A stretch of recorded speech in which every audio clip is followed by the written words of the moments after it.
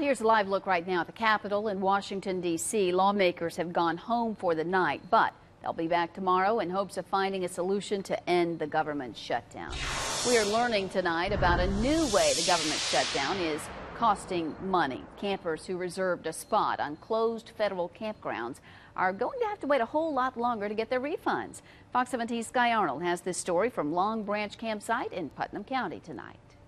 Well, guys, these gates remain closed, but the latest story involves the people who should be camping back there. Anyone who's reserved a spot is going to have to wait until possibly six weeks after the shutdown ends to get their money back.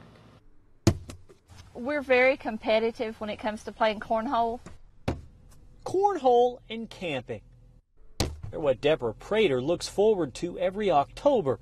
It is so relaxing. I mean, just going and being with friends. Prater and her husband Mike had planned to spend this weekend doing just that at Long Branch Campground.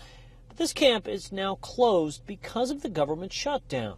I think it, I think the country is in a sad state when when it gets to this point. A change of plans is only part of their disappointment. The people who handle park reservations are now furloughed, so people who paid money to reserve camping spots will have to wait until weeks after the shutdown just to get their money back. It's our money, they're all holding it, and you start multiplying that by the number of people that camp this time of year. That's a lot of money.